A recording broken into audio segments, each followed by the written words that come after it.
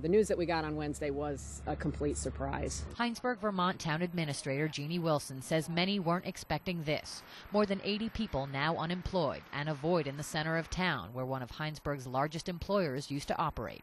A fire September 29th destroyed a storage area of the Saputo cheesemaking plant, and the company has decided not to reopen. The word that they gave, uh, I think it was within five days after the fire, was that they would definitely reopen. According to a company spokesperson, Saputo, based in Montreal, analyzed its overall activities and felt the Hinesburg closure would improve efficiency.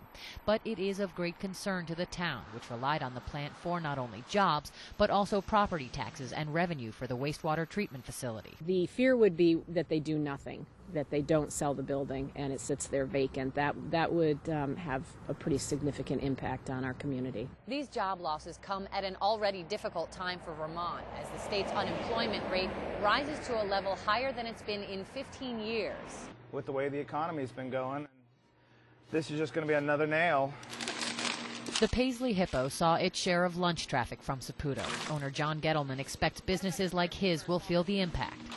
It's going to hit every market. It's already hit Vermont dairy farmers, who as a whole sent 10% of their milk to this facility.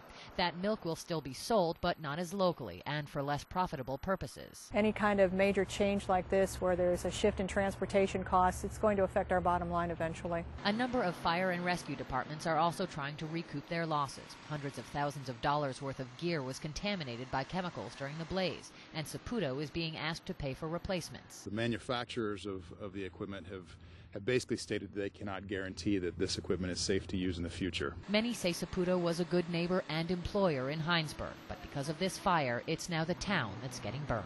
In Hinesburg, Anya Haneke, News Channel 5.